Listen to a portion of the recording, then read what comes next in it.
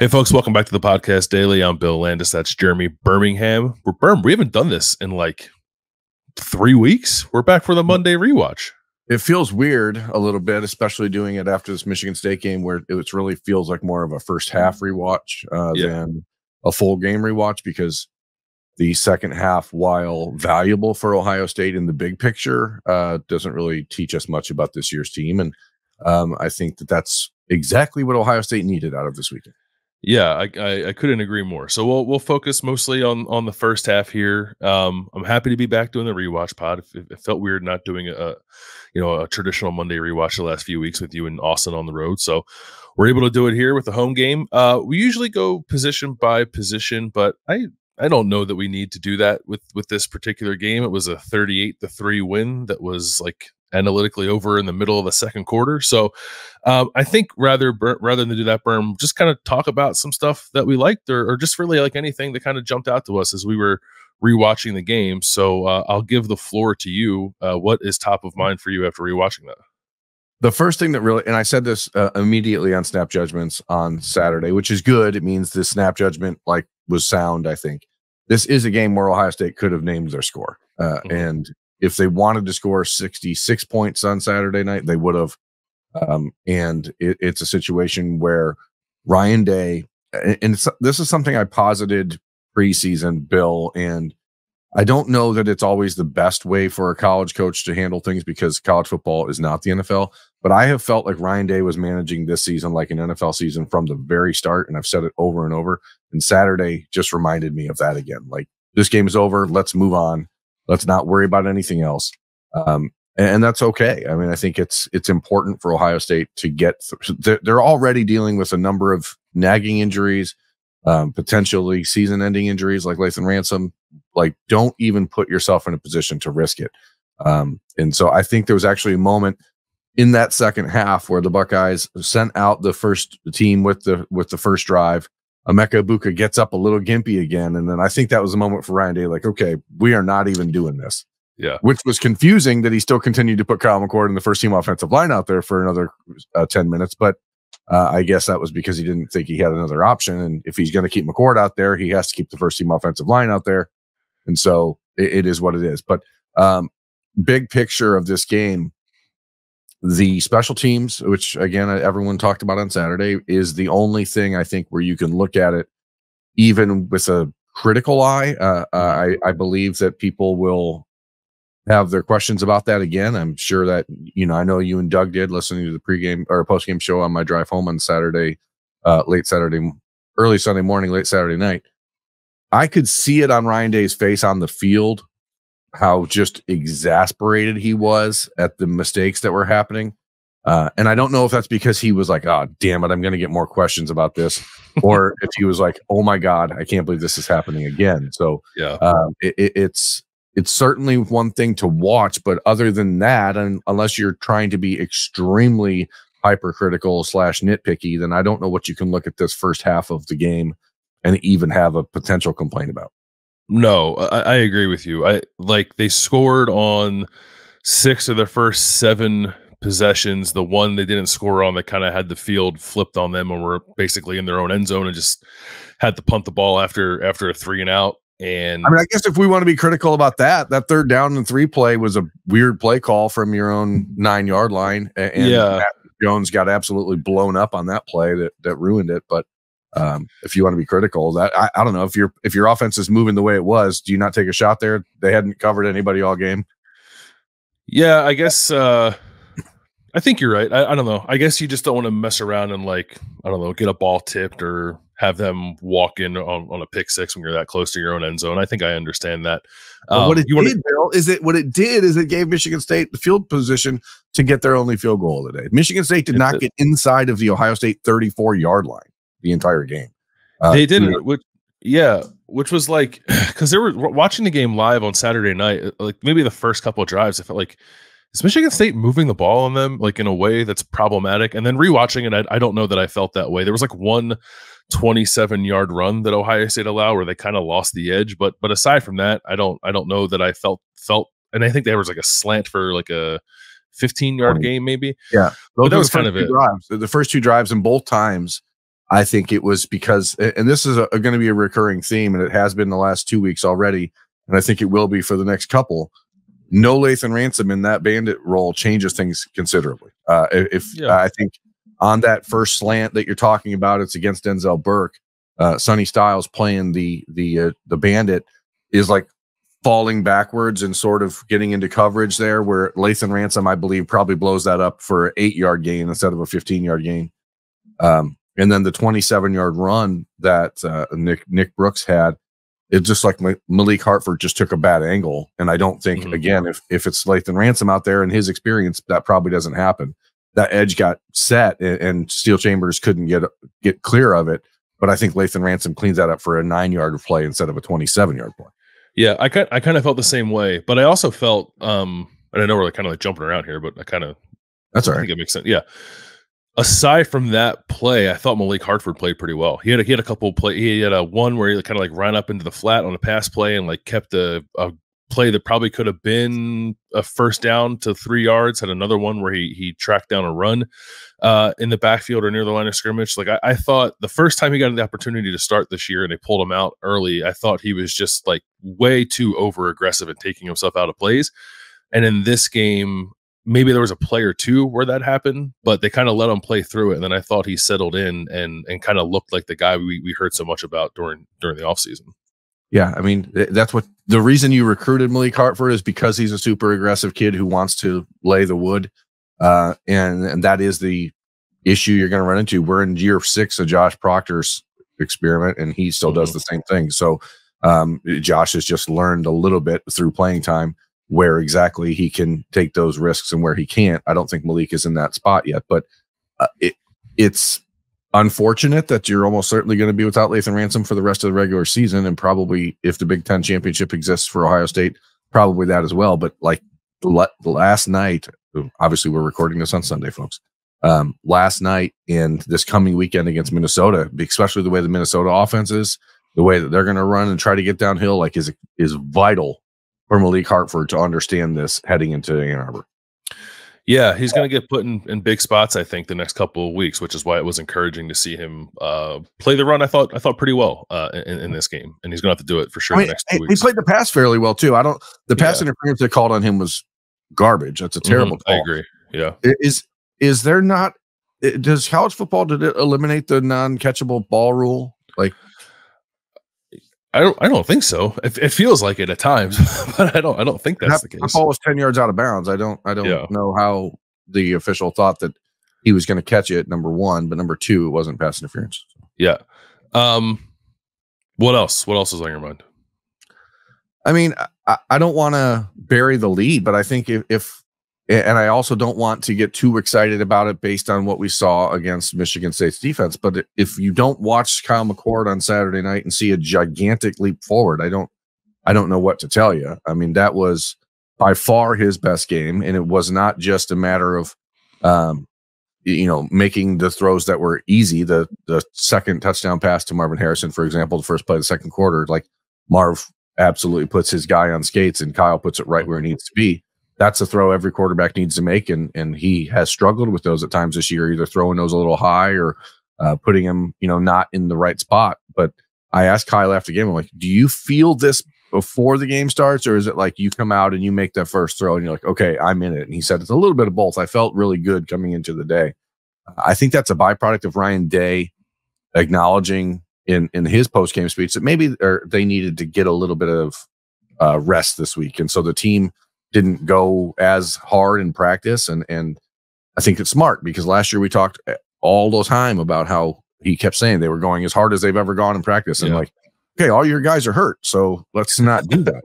Um but uh, you know it was it was a number of plays that really stood out to me. There was the the the play action that gets blown up and then the little shovel pass to Cade Stover which that's the sort of like playmaking, play extending stuff we have not seen out of Kyle McCord that sep- that will take him to the next level. Um, you know, it's the type of play where when things break down, we haven't seen Kyle McCord show the ability to to still make a play for Ohio State, and he did on that play. But then there's, you know, the, the second, I think it was what I think it was still the first quarter. Um, there was this little Ohio State's third drive of the game. Marv ran this little uh, flag route to the into the the the hole of the cover two that Michigan State yep. was playing on and, third down. Yeah, yeah, it's the it's the exact same play that they ran a week ago that was intercepted. Yep, and the same thing. Kyle, Kyle put it exactly where it needs to be.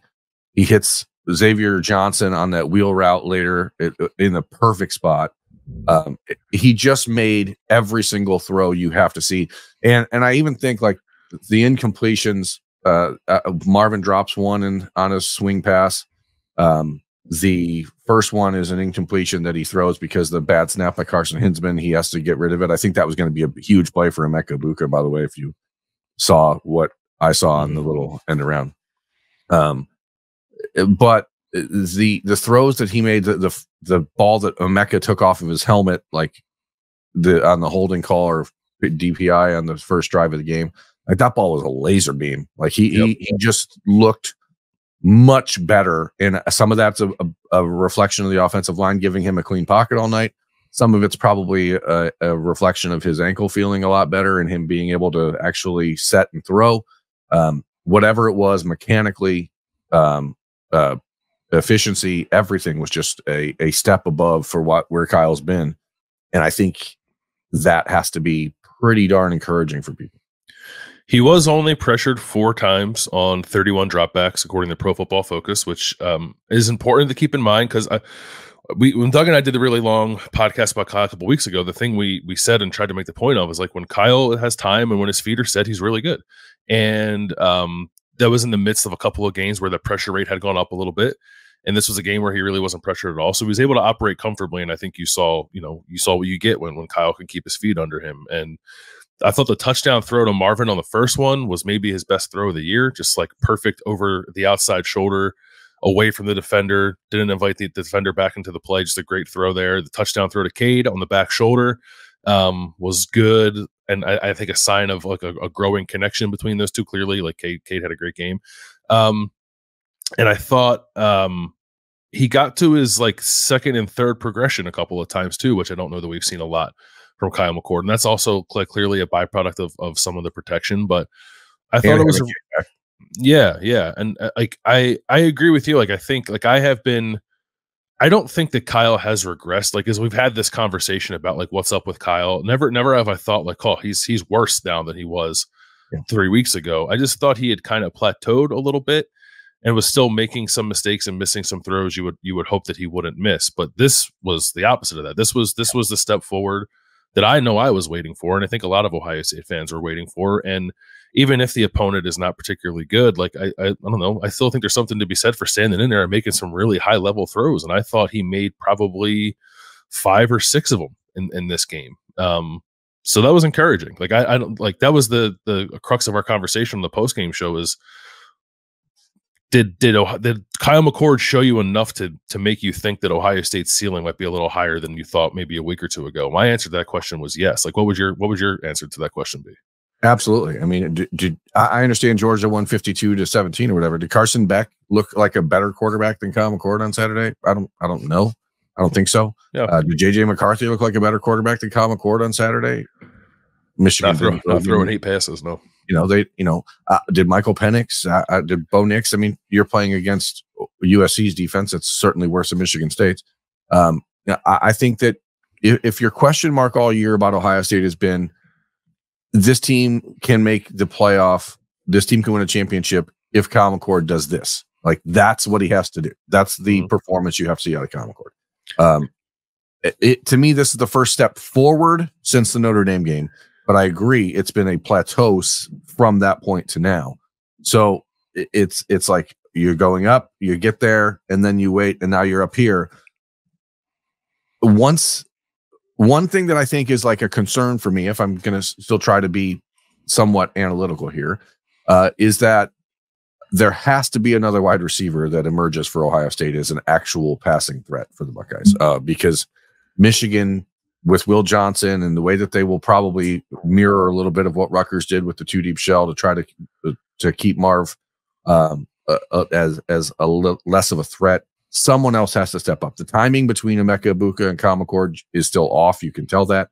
Some of that may be because Emeka is not 100%. Some of that's maybe just because they haven't had a chance to really do a lot together. I don't know. Um, Julian Fleming, uh, whether it's Carnell Tate, someone else has to emerge and be a viable second option on the outside. Yeah, I, I agree, and I, I I was hoping we would see Emeka kind of get back to his normal form in this game, and he did. He only had one catch. He blocked well, um, but he only had one catch and wasn't targeted a whole lot either. But they, well, I mean, in the first half, Kyle had four incompletions, and he threw the ball to Emeka four times, and three of the incompletions were to Emeka. So like they're yeah. trying, but it's just it's just not there. Yeah, and then like I think next week could be an opportunity to work on that too. Like they're playing Minnesota. Minnesota the last two weeks has given up I think like almost 600 passing yards and seven touchdowns to um, Illinois and Purdue. So like there should be opportunities there for for them to kind of rekindle what looked like a really strong connection right in the Notre Dame game between Kyle McCord and Emeka Egbuka. I think it's got to be Emeka. Like you're right, it could be Carnell Tate, it could be Julian Fleming, it could be whoever. I think it has to be Emeka. Um, he's too good to to go through games where he's only getting one catch. Um, and in a world where like Marvin has so much gravity to him and Cade Stover's doing what he's doing, there should be opportunities to get Emeka the ball. So I don't know. I think they were talking about it during the broadcast. Like Emeka, I think is still trying to knock off that rust, and he's not quite hundred percent. He's just trying to play through it and get back to that level, and he's not there yet. But he he needs to be for for them. I think to to put their best foot forward uh, against Michigan. So that remains like a, a major key emphasis for me as we go into the Minnesota game. Like, can you get those two back on the same page? Yeah, and, and I mean because if you can find someone to provide that boost uh, opposite Marvin and to complement what Cade does in the middle, it continues to open up things for TreVeyon Henderson, who, you know, he had 13 carries in this game, uh, five yards a carry or something like that. It's a nice, easy first half. He was this close to busting one all night, and I I am convinced if he played in the second half, he probably would have ended up with 21 carries for 180 yards and hit like a long run or something. He he's so much different than he has been. And the the one play that really epitomizes that for me on Saturday uh, was in the second quarter. Uh, he gets the first quarter er, towards the end of the first quarter, gets the ball. Should have been a two yard gain. He does a little spin move at the line of scrimmage and picks up almost six yards. And that quickness that he has, that that little twitch that he has right now that he's not had since the first half of his freshman year is an absolute game changer for Ohio State. And if people uh, had any doubts about his like big picture potential or his his high level talent, like I hope that's put to bed because he is absolutely shot out of a cannon right now when he touches the football.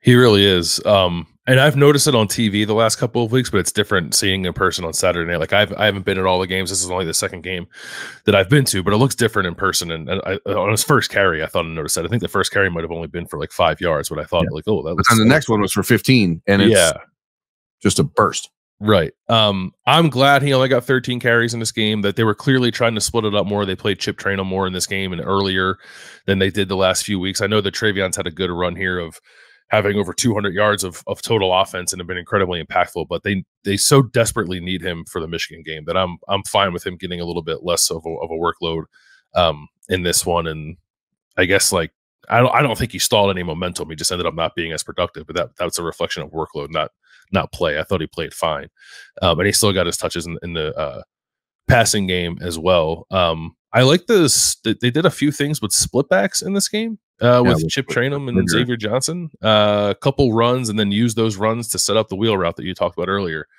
to Xavier Johnson. And again, like I love Xavier. He does he does a lot of really good things for this offense. Um, I'd like to see them put Trey in those spots too, and see what might happen on on a couple of those plays. And if you don't want to expose them in a game like this, I get that, but I hope we see some split back stuff like that against Michigan with TreVeyon Henderson playing the Xavier Johnson role. Uh, maybe I mean it, maybe it's because of the the ankle, but like I would put Emeka Egbuka in that spot. You're trying to mm-hmm. get him back into the rhythm of the offense and into the flow of the offense. I love Xavier Johnson. I love what he does for the team, but like if you are running this stuff and everything that you've sort of created for Xavier Johnson was done with Jaxon Smith-Njigba and Emeka Egbuka in mind, like why not use Emeka Egbuka in that spot?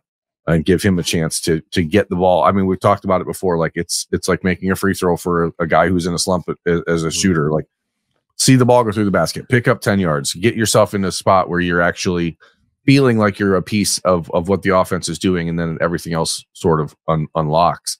Um, but that formation uh, was awesome. Um, the the way that they've sort of expanded the playbook over these last couple weeks has been really good. I mean, you talked about it um, post game. The the end around reverse to Marvin is is a type of play that I have been begging for Ohio State to run in for a while, where you mm-hmm. send G in, in motion one way and like it, it looked like something the Kansas City Chiefs are doing, or or like something that Washington State is doing, just something where you're like, oh, look at that, a, a wrinkle we have not ever seen. Uh, and now that opens up things because the way that the Buckeyes have been running the ball with TreVeyon Henderson on the little counters and all that stuff, it it it changes the entire game. And uh, I think that Justin Frye and Ryan Day deserve a lot of credit over the last four weeks for being able to adjust the run game philosophy yeah. on the fly uh, because they are completely different right now running the ball than they were in that uh, four game stretch uh, between Notre Dame and and Purdue, and I, I think that they deserve a lot of credit for that.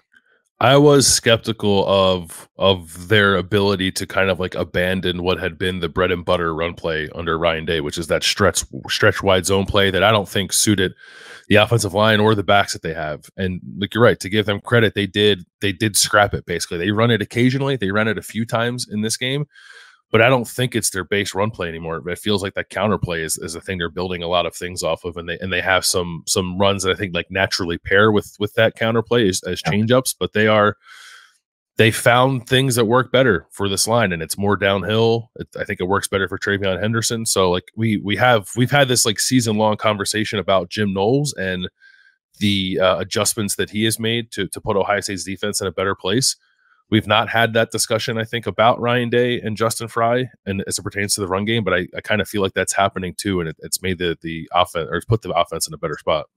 Yeah, I also thought. I mean, if we're just going through random thoughts that mm-hmm. pop up about this game, I thought this was Cade Stover's best game as a blocker in a while. Yeah, uh, yeah. I, I, thought that you, you saw him be more physical. Maybe that's because he he had the wrist injury that was hampering him that he got you know, fixed last week, and uh, the second play of the game, they ran that little counter tray uh, and uh, counter two tray, and it was Cade on on a pulling block that just wiped someone out and that led him to 15 yards. And I just think in general, the offense seems to have a much better sense of who they are right now than they did. Um, some of that's the offensive line. I think that they're still. I mean, if I you've kind of brought it to my attention recently in some listening to you talk, but I think you have to circle the center position right now as a like a, yeah. I'm a little concerned about how this looks moving forward. Um, obviously, you're not going to change it right now. Center is a little bit different than tackle because you can't just give the guy some extra help by, keeping a tight end home or or a chip blocker, or, you know. Uh, but uh, Carson Hinzman, I, I don't know if it's just because he's too tall, if he's not getting enough, you know, lower center of gravity in the in the just seems to be getting pushed back a lot. And I, I don't know why that is. I don't think his play strength is where it needs to be. I don't think he anchors well. I don't think he sustains blocks in the run game. He's had some nice running plays where he's gotten up to the second level and gotten on linebackers, been pretty good, but he worries me against good defensive tackles, and they're going to face three really good ones when they when they play Michigan. Um, he has allowed the most pressures of anyone on the offensive line. He's allowed the most hurries of anyone on the offensive line. If you look at interior offensive linemen across the Big Ten, his numbers are high compared to most of them. I think he's like third in pressures and hurries allowed among interior offensive linemen in the Big Ten.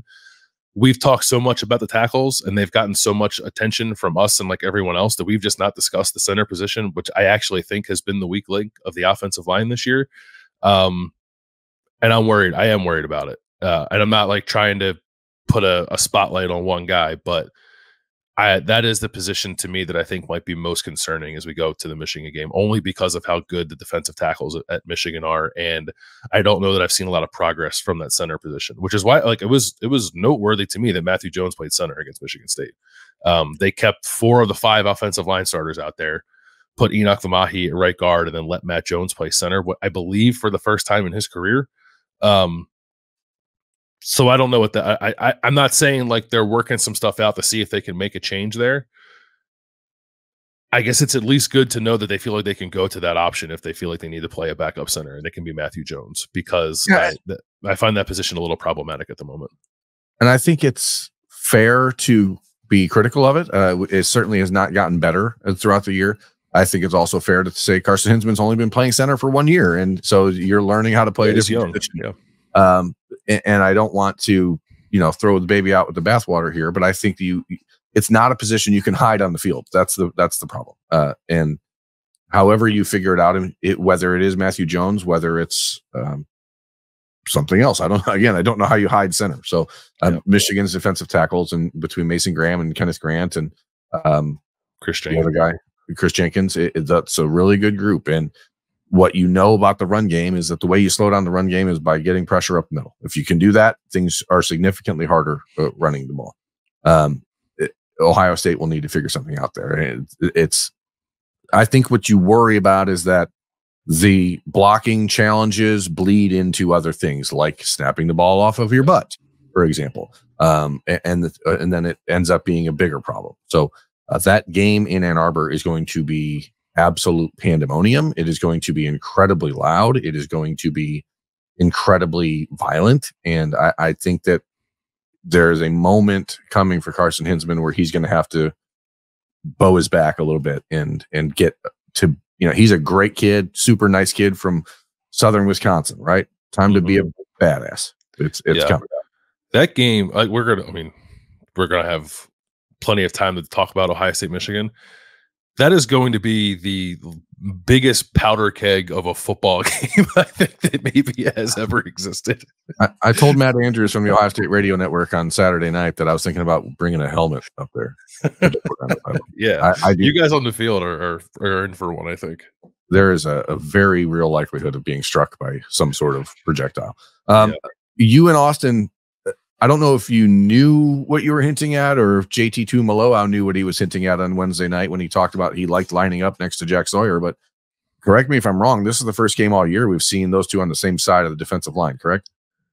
i don't recall seeing it yeah i think i think you're right So, uh, it didn't hit home. It didn't get there, but interesting nonetheless because I think that they've realized that Jack Sawyer is playing really, really well, and he can help them at at the at nose tackle and and be the guy op you know inside of JT and allow you to still use Caden Curry or Kenyatta Jackson on the other side. It's really the first time all year we've seen Ohio State use that Rushman package, and so uh, they're just adding and, and getting new things into the mix. Hero Kanu again played well when he got into the Mhm. game. I think that the step that he's taken for Ohio State has been vital. Uh, we didn't see a lot of Michael Hall. I didn't see snap counts, but I, I just don't So think he played a lot. he left the game um in the first quarter. Austin and I, Austin noticed it first, and we were watching him. Like he he walked up the sideline and like he actually walked through the the camera area underneath the south stands, and I'm assuming went to the locker room. I don't think he played after that. That was during I think Ohio State's third drive of the game. Um, so I want to look here and see how many snaps he ended up playing, but it could could not have been more uh than a handful. He played ten snaps. Um, he got like kind of folded over, like like double teamed and like knocked down and kind of awkwardly on an early run play. And I'm wondering maybe if something might have happened there. Cause yeah, he didn't he basically didn't play in this game after the first two series. Um, which maybe is why you saw Jack Sawyer play a little bit inside. But uh, that's a big loss, obviously. I don't, I don't know. Ryan Day wasn't asked about it. I don't think many people noticed that Mike Hall wasn't playing a lot or that he had left the sideline. And I don't I don't believe he returned. Um Yeah, I don't remember so seeing that's him. that's something to monitor for sure. It's also, I mean, JT two got bent in half uh, and hurt a little bit. His back also in the second quarter. That was a play that they actually called a hold on Michigan State on, Oh, the, yeah. on the offensive lineman uh, blocking JT. He was, it, it was really, it reminded me of the way that Matthew Jones crumpled Chop Robinson a few weeks ago. It was the same sort of block. Like he was basically just like compacting him into a tiny little ball of a person. Uh, it did not look comfortable, uh, but JT's athleticism allows him to be a little bit more flexy Gumby than most people, I think. Um, Yeah.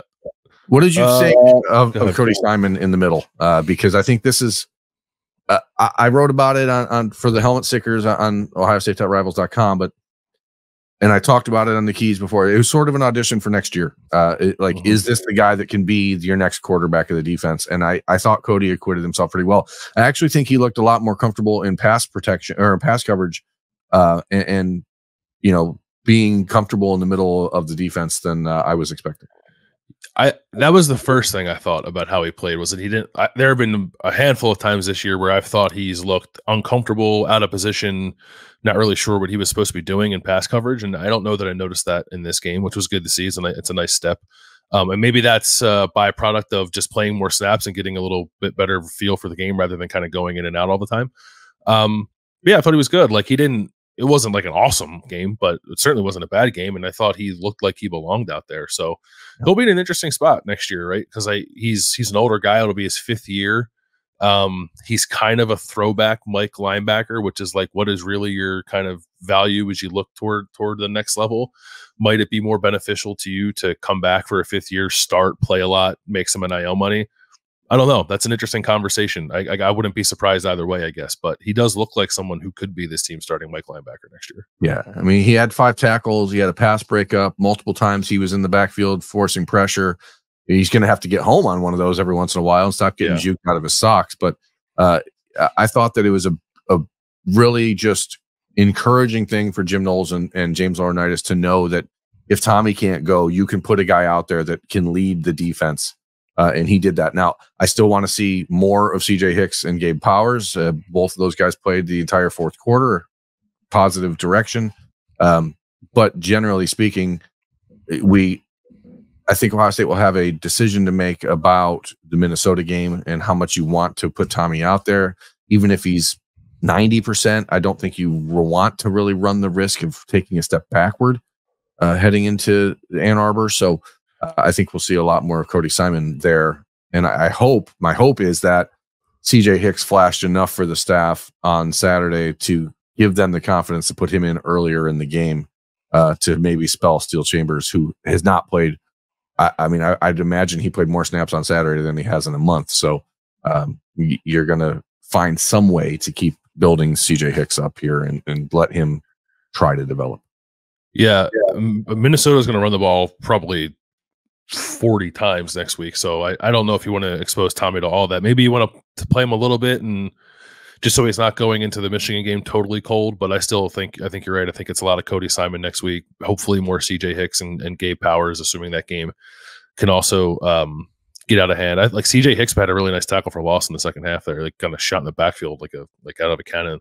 Um, that was the type of play they've been waiting to see from him. He rode the line of scrimmage down, mm-hmm. shot the gap, and made the tackle. Like he didn't allow himself to get blocked out. He didn't get lost in the wash. Like he he was able to stay clean, and then he attacked. And that's what they've been waiting to see. Like that's what his athleticism should allow him to do, as long as he's reading the play correctly and being where he needs to be. Like, uh, but you can't.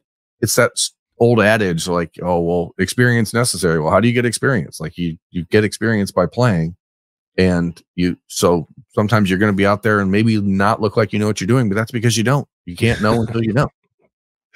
Yeah no i agree. Uh i'm i don't have anything else. Anything else on your mind before we wrap up? I just really think that uh the play of jordan hancock has been an absolute rev- revelation for ohio state this season and i I mean, he's one of the guys preseason we talked about, like, okay, well, if he does this, he's a guy who could go to the NFL. Like, I think you now have to be worried about how do you replace Jordan Hancock next year. And I can't believe we're having that conversation on November the 13th.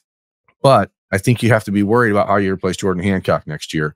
Um, and I don't know if that's a conversation that we're ready to have yet. But uh, yeah. Jordan, his versatility, the the the third Michigan State's first drive of the game. It's third and two. They're going to go for it on fourth down if as long as they don't lose four yards. And here comes Jordan Hancock just destroying a tight end, forcing the quarterback to be to to bounce out and, and let Denzel Burke clean up the play. And you're like, that is a nickel cornerback destroying a tight end. It should not happen, but yet he seems to just be doing that every single week. It might have been that play or perhaps there was a play later in the game where I turned to Austin and I said, I think Jordan Hancock might be too good. yeah, he's, he's become too good too fast. Yeah. Uh, so like he's Like I I thought like my maybe my favorite defender in all of college football to watch last year was Brian Branch at Alabama. Jordan Hancock has some similar stuff to him, I think. And Ohio Brian State Branch, Brian Branch out of high school. I mean, there yeah. was an Ohio State Alabama battle, so uh, you can get it. And, and, then you see like down the interception return against Rutgers, he was like 22 miles an hour on his 93. Like, uh oh, that's that's unfortunate because you know you you you hope for a kid like that who was the top of your board as a defensive back in the class of 2021 can't play for two years because of injury. Now all of a sudden he plays so well that he has to leave, and that's unfortunate. Yeah, the Mark the Marshon Lattimore path. Um, I don't know. I I, I the, the thing with Jordan Hancock is I think he has first round upside because that position is so important in the NFL. And it's like, are they going to draft him in the first round after playing only one year at Ohio State? Maybe not. So I think that that might be Ohio State's saving grace here. But yeah, Jordan Hancock looks like a guy that um, is not long for college football with the way he's been playing lately. Yeah, it's uh, it's pretty unfortunate. I mean, yeah. not for not for him. Uh, it's great for, for him. Yeah, yeah, who has been looking for that guy for the last four years, and all of a sudden he's there, and poof. That's what happens when you recruit good players, I guess. Uh, yeah, other than that, I don't have anything. I, I, just think Ohio State. This is exactly the type of game Ohio State needed. Like I said at the mm-hmm. start, I mean, you you had to have a game where you came out fast, showed your dominance, and let your young guys play. It's invaluable for Lincoln Kienholz to get into that game and play ten minutes of football. Like invaluable. Uh, I wish they would have let him. Like the third down play, uh, the the the throw to the end zone with Carnell Tate. Like I I was I was talking to Kyle McCord post game, and I said, "Hey, Kyle, you know, it's a shame Lincoln couldn't hit that pass." And he's like, "Yeah, but he had he had a uh, he had someone else open on the other side. He should have just thrown it to him." I'm like, "Oh, okay." Like that's tough, tough crowd. But I wanted to I want to see Lincoln pull the ball and run. I wanted to see yeah, him like go out there and, and a couple times. You know, I loved the little rollout pass that he had to to Jelani Thurman. Jelani I think Thurman. you see why people are excited about Jelani's potential. Uh, those are things you we haven't seen all year because the games have been so wonky for Ohio State. Uh, I hope that next weekend is the same way. Senior day, it's it should be an opportunity for the Buckeyes to let some of these guys play again. Um, but you also can't go into that weekend looking past the game. The week the week before Michigan, the last couple years has been bizarre multiple times. So uh, I, I think you just need to get in there, take care of business, and let the same type of game happen. It should happen. Uh, Minnesota, excuse me, Minnesota got his doors blown off by Purdue uh, this past weekend, so uh, it it should look like more or less what this game against Michigan State looked like. Which again, uh, you know, it's just fun to beat up a bad team sometimes. And Ohio State, I think, needed that, and it was it was uh, entertaining to watch that. But I, I don't know uh, how much of it you take moving forward, other than you know feeling good about yourself, which is which is not the worst thing in the world. So I also think Harlon Barnett and Michigan State deserve credit. They did not quit. Like Mm. I, I, thought they came out and, and threw punches like that. That that is a bad team that does that plays with pride. At least it was yeah. not like a group that uh, didn't seem like they you know they didn't want to be there. They weren't sloppy. They weren't making a bunch of mistakes. They just they're just not they just don't have the players. Uh, but especially I, on I offense, yeah, yeah. I think Harlon Barnett and, and that staff deserve some credit because, uh, like that, it's going to sound disrespectful. It's the perfect sparring partner for Ohio State. Like, yeah, it, it was that's what that game felt like to me. It was a spar. It was not a, a real match. But Ohio State can learn some important things about themselves. Harlon Barnett and Michigan State can say, "Hey, we went to, we went in the ring and we we fought them, and now we can see where we need to improve." Like, uh, it, that's the type of fight that was, and I think um, it, they deserve credit for getting in the ring and and, and throwing punches. And so, um, yeah, they're bad, especially on offense, but not everyone has players like Marvin Harrison and TreVeyon Henderson. They sure don't. Um, not even the uh, the other two good teams in the Big Ten East. They don't have players like that, which was noticeable uh, early on Saturday. So uh, yeah, I think it's uh, it's good for Ohio State to feel good about itself and build some momentum, build some good habits, uh, figure out some things that work for them as they uh, keep ramping up toward the game at the end of the month against Michigan. But there's one before that. It's Saturday against Minnesota. We'll have coverage all week here uh, on the podcast leading up to that game. All the stuff you've become accustomed to. Later on Monday, Doug and I will have uh, Kings of the North. We'll have uh, Rooster Show. What time is Roosters on Monday, Birm? 11:45 a.m. We will be in the Horseshoe Lounge at Roosters on Olentangy River Road. Yep. So if uh, you're able, want to stop by, watch the show, hang out, talk to us, we'll be there. We always like when people do that. Uh, otherwise, uh, you can find that show here on the podcast feed along with everything else we're going to be doing this week. But that will wrap up uh, today's episode of the podcast daily For Birm, I'm Bill. We'll talk to you guys later.